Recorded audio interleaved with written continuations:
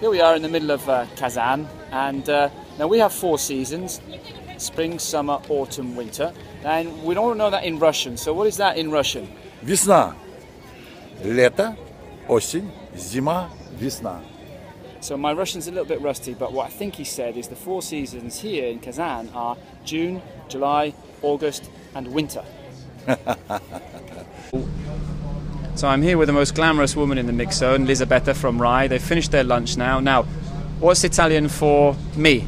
Io. And what's the name of the donkey in Winnie the Pooh? Io.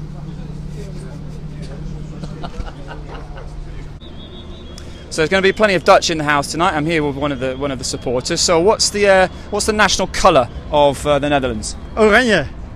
And everyone wears what colour clothing? Oranje, sure. And uh, what's the the- what's the name of the royal family? Van Oranje. All right. And what's this? what's that?